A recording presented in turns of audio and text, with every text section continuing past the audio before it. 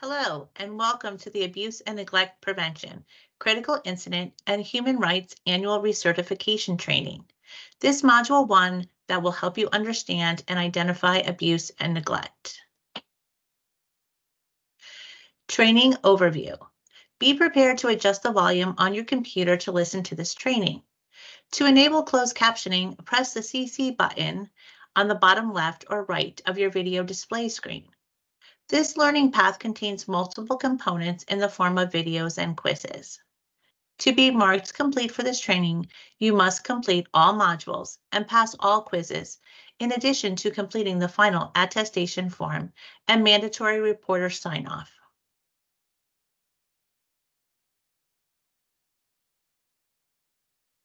Hello, and welcome to the Department of Developmental Services Abuse and Neglect Prevention presentation. My name is Jordan Scheff, and I'm the Commissioner at the Department of Developmental Services. I'm joined today by one of our distinguished self-advocates, Carol Grabby. Hi, my name is Carol Grabby, and I'm the Self-Advocate Coordinator in the South Region in the Wallingford office. We're so glad that you could join us today. In this, in this presentation, you will learn of the different types of abuse and neglect, identifying symptoms, and how to complete a report.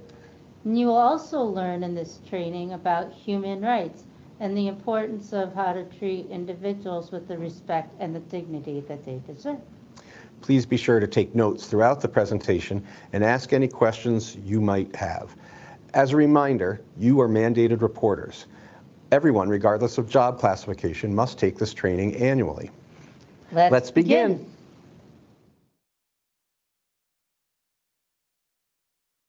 This training is one of the most important trainings for all DDS and private provider employees.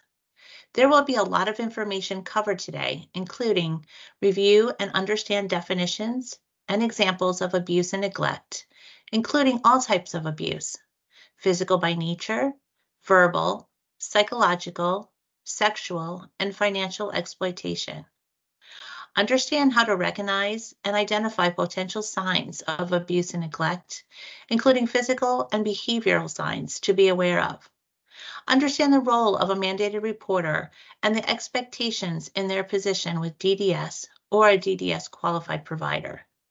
Throughout this training, you will also be provided with some statistics of substantiated cases, an overview of your role as a mandated reporter. Before we dive in, a reminder that you are a mandated reporter. This is a requirement of your job at DDS for every person providing support to, inv to individuals funded by the department. Regardless of your title, you are a mandated reporter. That means reporting abuse or neglect 24 hours a day, seven days a week, not just when you are at work. It also means you don't have to have proof. You may be a witness. You saw or heard it. Even if you suspect it, you should report it. And if you hear about it from someone else, you must report it. It is not an option to report suspected abuse and neglect. As a mandated reporter, your failure to report suspected abuse or neglect can be reported as neglected self and may lead to progressive discipline. Any and all types of discipline may be considered depending on the severity of the abuse and neglect that was not reported. To elaborate on the general Connecticut General Statute 46A-11B, allegations should not be called in just because a supervisor tells an employee to do so or as a means of covering one's own best interest. There must be reasonable cause to suspect abuse or neglect on the part of the reporter. The reporter should be prepared to explain their reasonable cause to AID's central intake and other agencies as necessary as to why they think there was abuse and neglect. Reasonable cause is not to discourage people from calling if they suspect abuse or neglect taking place. If you witness or suspect abuse or neglect, the steps to take are stop it, intervene and protect the victim, obtain any necessary medical treatment, support the victim, and then report and document.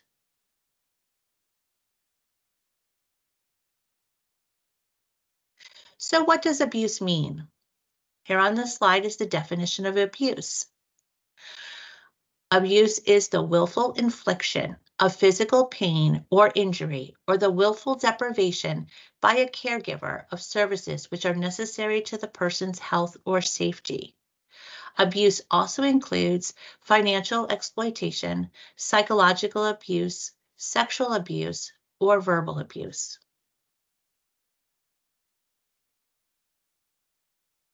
So what does willful mean? Willful means intentional acts or omissions or the reckless disregard for the safety and consequences of one's actions or omissions.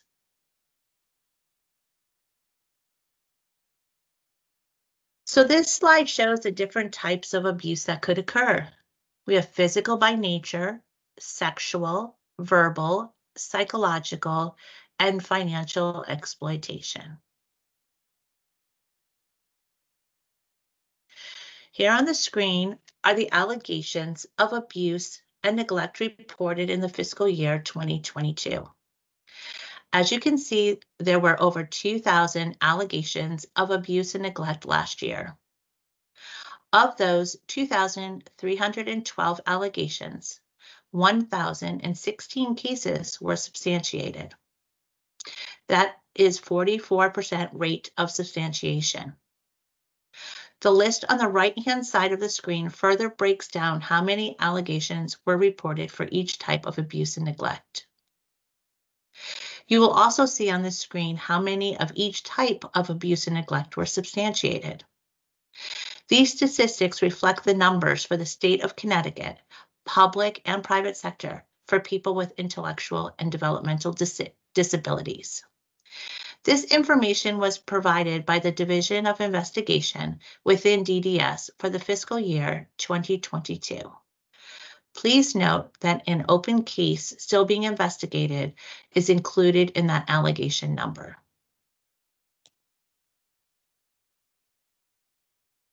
So what exactly is abuse that is physically physical by nature? There are many examples hitting, shoving, tripping, pushing, pulling, scratching, pinching, cutting, biting, or excessive physical or chemical restraint. Example of a chemical restraint is medically restricting or overuse of an individual's medication, preventing an individual from using his or her wheelchair, or taking away an individual's personal possession as a means of punishment. It is important to remember that one report can be substantiated for multiple forms of abuse. The third and fourth example on the screen is a great representation of one situation that could be substantiated as multiple forms of abuse or neglect. Preventing someone from using their wheelchair would be physical by nature, psychological abuse, and neglect. It is important to note that all allegations of abuse are considered neglect. Neglecting to provide safety and proper care for an individual we support would always be considered neglect.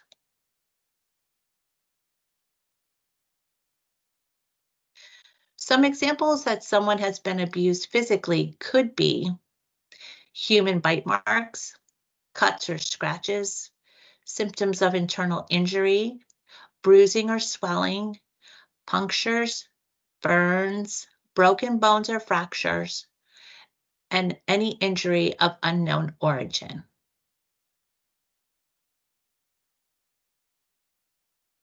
When evaluating if someone has been abused, it is important to consider behavioral changes that occur, could, could occur in addition to physical signs. Some examples of potential behavioral signs that could be signs of abuse are more emotional, nightmares and bedwetting, fearful of certain environments or certain people, self-injurious behavior. If this is a change from their baseline, self-injurious behavior could also be a potential physical sign as well. There could be crossover amongst behavioral and physical signs you observe in some situations. Past negative behaviors reappearing, nervousness, sleep disturbances, and any other changes in behavior that does not align with their baseline.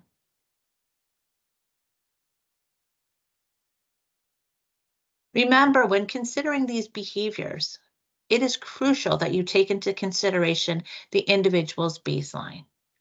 If changes in their baseline occur, the staff reference their logbook, discuss changes with the delegating nurse, and document the changes.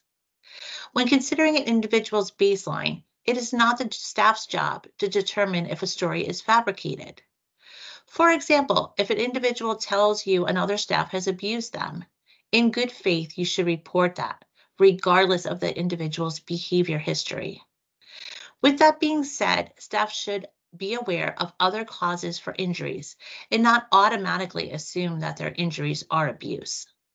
This is important information to assess before making a report of abuse.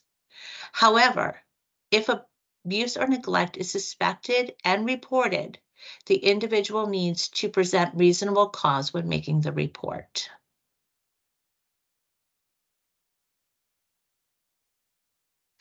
Location of the injury is important to consider. Some places on the body are more prone to accidental injury. Injuries do not mean that abuse has taken place. There should be documentation on the injury or the incident. If there is no documentation of the injury, then you should report it as abuse and neglect as injury of unknown origin. Common injuries can occur on the knees, elbows, shin, forehead, or the back of the head.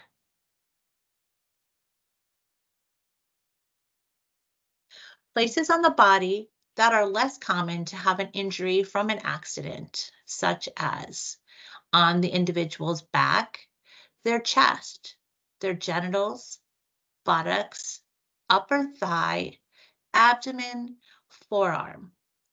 When considering placement of injury, it is important to consider the person's baseline and their behaviors or behavior plan, along with any documentation.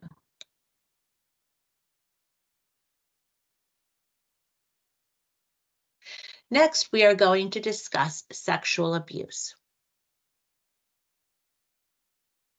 The definition of sexual abuse is any sexual contact or encouragement of sexual activity between an individual and a family member, employee or paid staff, legal representative, or volunteer, regardless of consent.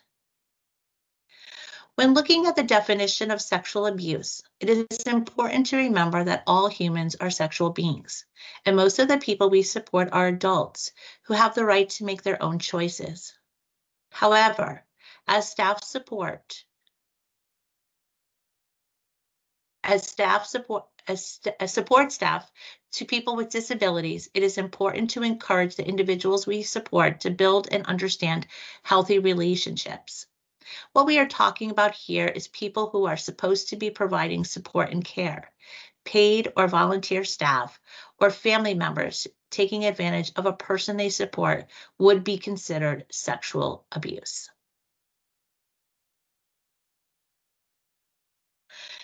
Some examples of sexual abuse are improper touching or groping of breasts, buttocks, or genitals, penetration, intercourse, or oral stimulation. Caregiver forcing or pressuring an individual to take part in sexual acts. Caregiver exposing themselves to an individual. Inappropriate nudity. Inappropriate exposure to sexual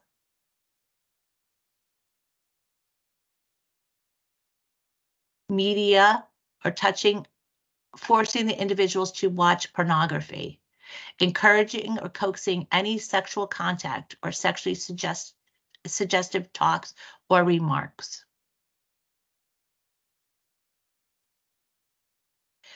Potential signs of sexual abuse could include difficulty sitting or walking, pain, swelling, or itching in the genital area, painful urination, vaginal discharge, injuries to the mouth, bruising or bleeding in the genital area, self-injurious behavior, any unusual changes in baseline behavior.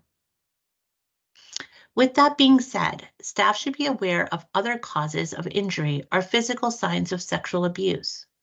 Staff should not automatically assume that these injuries are related to abuse. What is the person's baseline? This should be described in the person's programmatic plan. What does recent medical or behavioral documentation state for the individual? Is there a change or a deviation from their baseline that would indicate sexual abuse? For example, is there a lack of documentation for injuries to their genitals that could indicate sexual abuse? Is there a new medication the individual is on that could cause genital irritation or a rash? This is important information to assess before making a report of sexual abuse.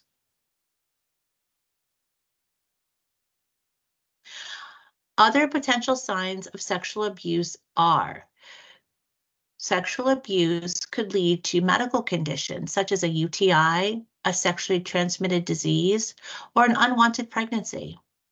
Any sign of a new medical condition or physical sign of sexual abuse should be reported to the delegating nurse or medical staff immediately. Medical staff will conduct the assessment and decide what the follow-up is needed.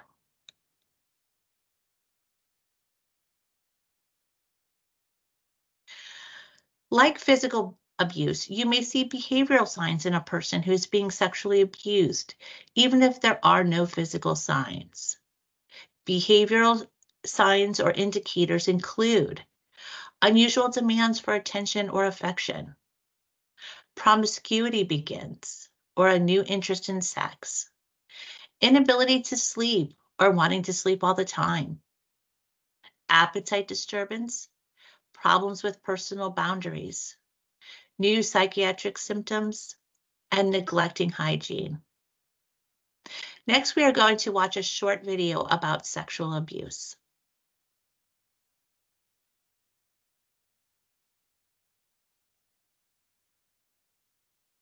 The following program contains mature subject matter. Viewer discretion is advised.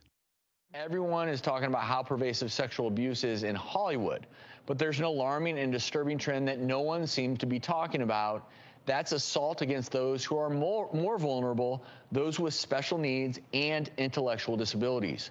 According to a year long NPR investigation, people with intellectual disabilities are sexually assaulted at a rate seven times higher than those without disabilities. Ariva, I know how passionate you are about this topic. Why do you think this hasn't been in the limelight? Just the way historically we've treated people with special needs in our country. If you think back to the early, you know, 1920s and 30s, people, if you had an intellectual disability, you probably were forced to become sterilized. You were put in a hospital, you were sterilized, you were institutionalized. People with intellectual disabilities were thought to be subhuman. They weren't thought to be like you or me or the rest of the population, and they were treated that way. So when we're having this big discussion about the reckoning around sexual harassment and assault, individuals with intellectual disabilities aren't even in the conversation. So I'm so glad that right here on the doctors, we are having this conversation because it's such an important topic.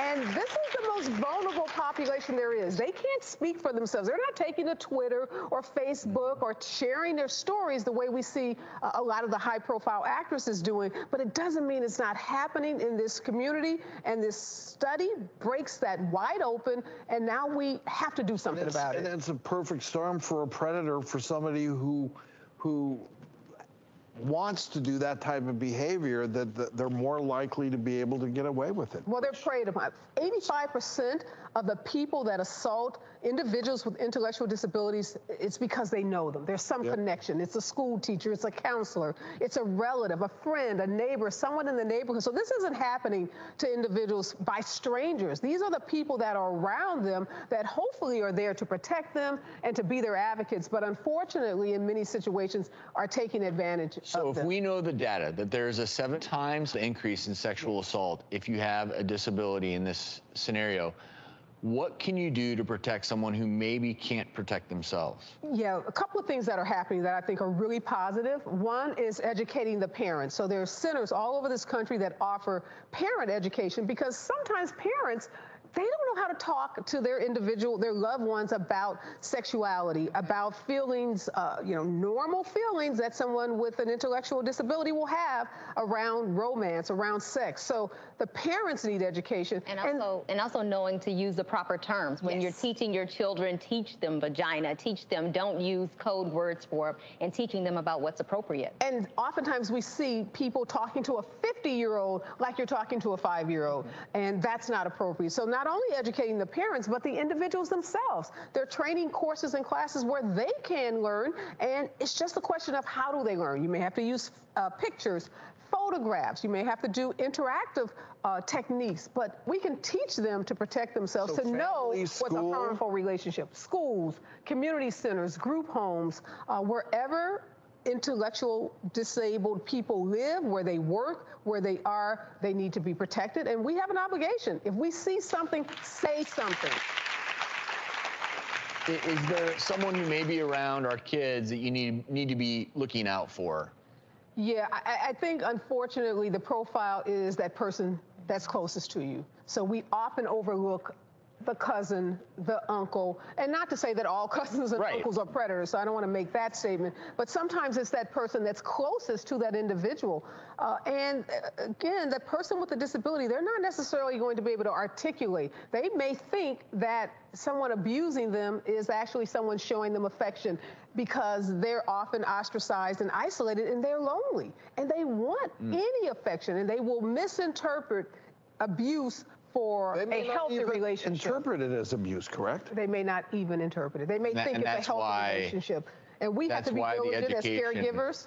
We have to be diligent as parents, education, education, education. So again, I'm just so happy uh, that we at the doctors are making this a part of the conversation because these individuals, they deserve to be protected just like any other population. And if you want more resources on how you can protect a loved one or how to report a sexual assault, we'll have resources at thedoctorstv.com.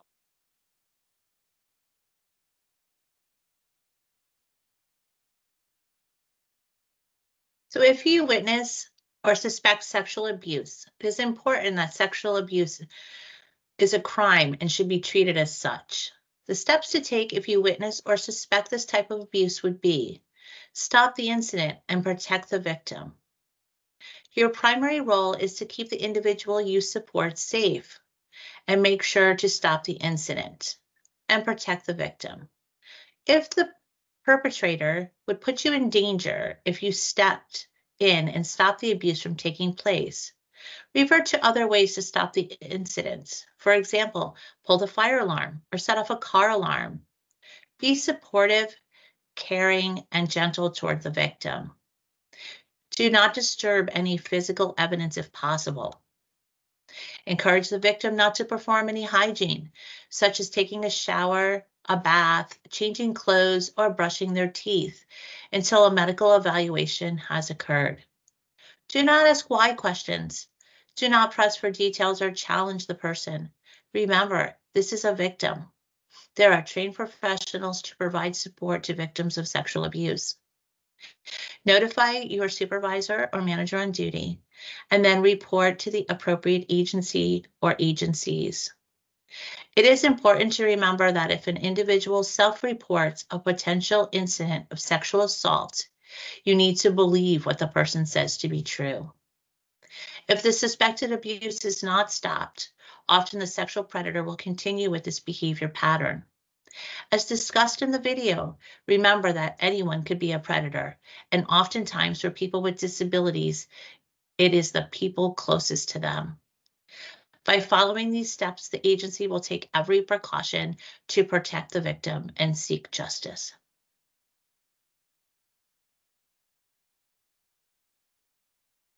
The supervisory staff on duty will make sure the individual is safely transported to the emergency room and evaluated by a medical professional and should ensure the individual has extra clothing, adaptive equipment, and any other items for changing after medical evaluation.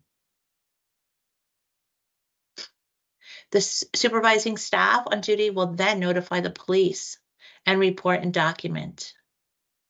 It is important to note that the supervisor's reporting process is not to call the reporting agency or agencies to make the initial report. They will guide the staff in ensuring the appropriate agency or agencies have been notified and the document, documentation is complete. Lastly, the supervisor should engage with the victim's team to ensure they are connected with a trained sexual assault crisis center or counselor. Are you or someone you know a victim of sexual assault? If you need support, okay, you can see there's three phone numbers on, listed on this slide. The first two are the Connecticut Alliance to End Sexual Assault and the one on the bottom is the National Sexual Assault Hotline.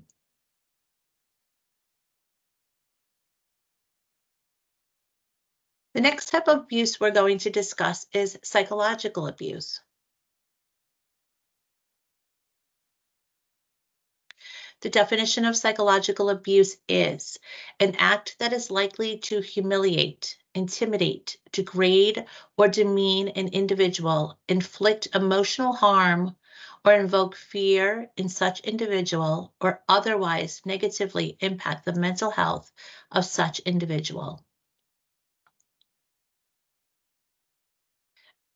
Every employee should be careful to avoid being psychologically abusive and be aware of and alert to others doing these kinds of abusive behaviors. Things such as promising something to an individual with no intention to follow through, telling an individual that they are receiving services because no one loves them or wants them, discarding or hiding an item that is important to the individual.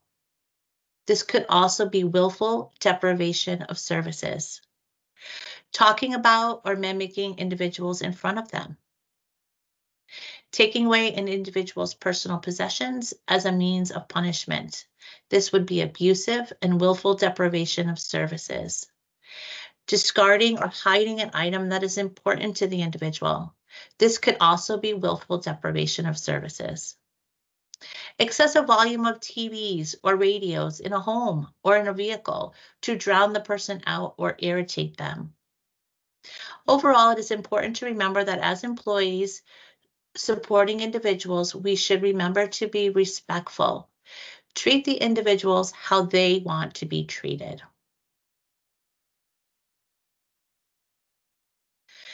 The next section of this training that is important to discuss is financial exploitation.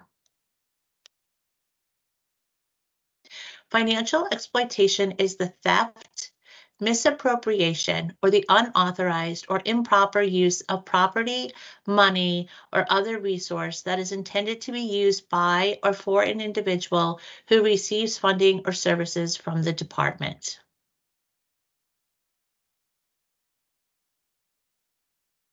Some examples of financial exploitation are borrowing or stealing money from an individual, having an individual pay for food, gas, items, or admission fees for staff without team approval. Selling personal items to individuals, such as computers, TVs, furniture, cell phones. Trading cash for less than the full value of a gift card or a gift certificate. Taking food or supplies from an individual's home. Some additional examples of financial exploitation are gaining an individual's money by threat, persuasion, or exploitation, stealing or misusing an individual's money or possessions, taking of cash, valuables, medications, or other personal property, self-directed support staff putting in for hours not worked. This would also go along with falsifying your timesheet. Financial exploitation also includes using one's one individual's money to pay for things for other individuals, preventing or limiting access to an individual's available funds or spending, using or opening bank accounts, ATMs, or credit cards in the name of an individual, staff using individuals' COVID funds for personal use, mismanagement of an individual's finance accounts or benefits.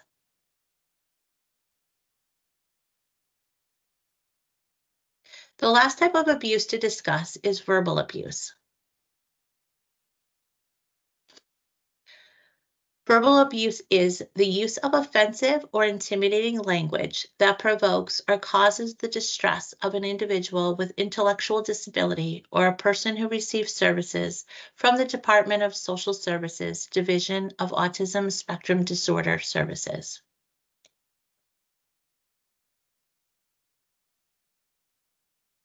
Examples of verbal abuse are swearing or yelling, or using profanity toward or around an individual, derogatory language which humiliates or ridicules an individual, language which intentionally provokes or upsets an individual, yelling, extreme voice volume, or multimedia volume so the individual cannot be heard. Some additional examples of verbal abuse are mimicking or name calling toward an individual, inappropriate teasing or taunting towards an individual, staff arguing with one another in front of the individuals when it causes agitation for the individual. Next, we will discuss neglect. Neglect is the failure by a caregiver, including Department of Developmental Services staff, DDS qualified provider staff, and CCH licensing in cases of programmatic neglect through action or inaction to provide an individual with the services necessary to maintain such individual's physical health, mental health, and safety. Neglect also means a situation where an individual either is living alone and is not able to obtain the services that are necessary to maintain physical or mental health or is receiving such necessary services from a caregiver. When talking about neglect, it is important to remember that neglect may not be willful, which we had discussed with abuse. When there is a report of injury of unknown origin, for example, a fall that resulted in a bruised knee, but was not documented and reported correctly by the staff, or the staff was not providing correct supervision. These types of allegations oftentimes result in a substantiated neglect case. As a mandated reporter, your failure to report suspected abuse or neglect can be re reported as neglect itself and may lead to progressive discipline. Some examples of neglect, failure to seek or delay in seeking medical treatment when necessary, or failure to keep adequate supply of medications in stock for the individual. Failure to follow an individual's food consistency or nutritional dietary requirements. Failure to intervene when two individuals are physically fighting. Failure to intervene when an individual engages in self-injury. Some additional examples of neglect are failure to intervene or report abuse or neglect, failure to appropriately perform CPR when necessary, failure to provide adequate levels of supervision for an individual as required, and failure to follow an individual's behavior support plan.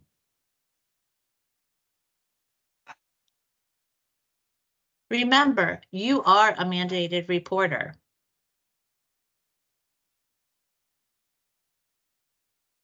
This is a requirement of your job at DDS. And for every person providing support to individuals funded by the department, regardless of your title, you are a mandated reporter. That means reporting abuse or neglect 24 hours a day, seven days a week, not just when you are at work. It also means you don't have to have proof. You may be a witness. You saw it or heard it. Even if you suspect it, you should report it. And if you hear about it from someone else, you must report it. It is not an option to report suspected abuse and neglect.